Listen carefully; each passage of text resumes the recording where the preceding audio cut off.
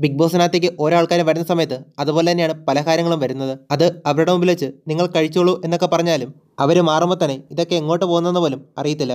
അതുകൂടാതെ മറ്റൊരു കലാപരിപാടി ഇപ്പോൾ തുടങ്ങിയിട്ടുണ്ട്. ഓരോരുത്തരും വരുന്ന സമയത്ത് ഞങ്ങൾക്ക് ഇതാണ് വേണ്ടത് ഞങ്ങൾക്ക് അതാണ് വേണ്ടതെന്നൊക്കെ പറഞ്ഞ് വാങ്ങിച്ചുകൊണ്ട് വരുന്ന ഒരു പരിപാടി.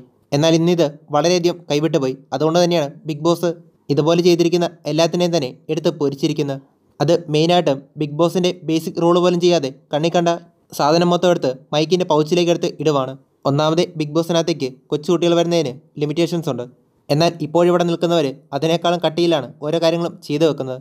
ഇപ്പോൾ ആരെങ്കിലും വരുന്നതിനേക്കാളും ശ്രദ്ധ സ്റ്റോർ റൂമിലേക്ക് എന്തെങ്കിലും അനക്കമുണ്ടോ എന്നാണ്. ഇതിനകത്തേക്ക് ആദ്യം തന്നെ കണ്ടുപിടിച്ചത് ശ്രീധുവിനെയാണ്.